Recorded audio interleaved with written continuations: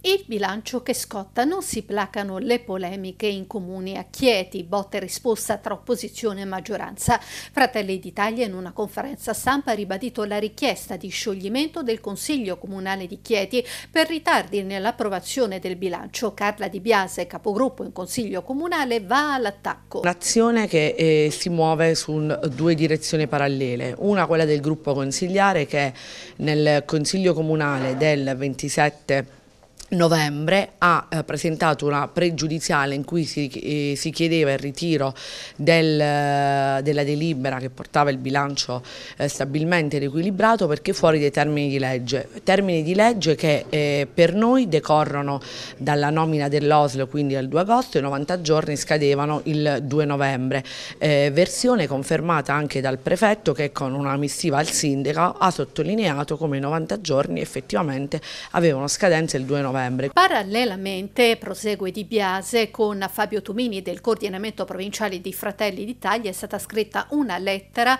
al Ministro dell'Interno.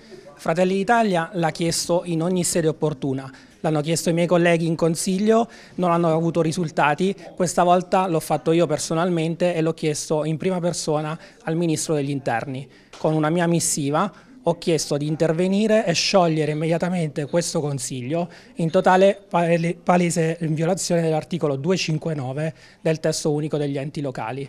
Hanno approvato il bilancio in ritardo e nella delibera di giunta del 21 dicembre, quindi parliamo di quasi due mesi di ritardo, comunicano che il, il bilancio non è stato ancora inviato e stiamo cercando di accelerare ed evitare il ricorso al TAR. Il sindaco Ferrara non ci sta ed è pronta la risposta. Si stanno svegliando a due mesi dall'approvazione del bilancio in Consiglio Comunale perché sono in campagna elettorale e quindi qualsiasi motivo è buono per loro per metterla in caciara e secondo perché volendo, eh, secondo i loro piani, fa, fare eh, cadere il Consiglio Comunale comunale vogliono seppellire eh, le reali motivazioni eh, del debito eh, ultramilionario che eh, il centrodestra chietino ha lasciato nei dieci anni precedenti alla mia amministrazione. Siamo tranquillissimi, prosegue il sindaco, sia dal punto di vista amministrativo che giuridico.